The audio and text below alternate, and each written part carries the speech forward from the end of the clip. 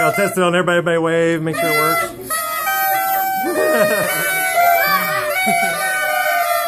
not yet, guys. Not yet. And her name's Kyla, by the way.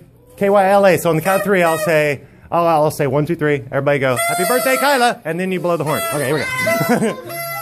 We're at the fountains. I'm doing a magic show, and it's my wife's birthday. So on the count of three, they're all going to say, happy birthday, Kyla. Here we go. One, two, three.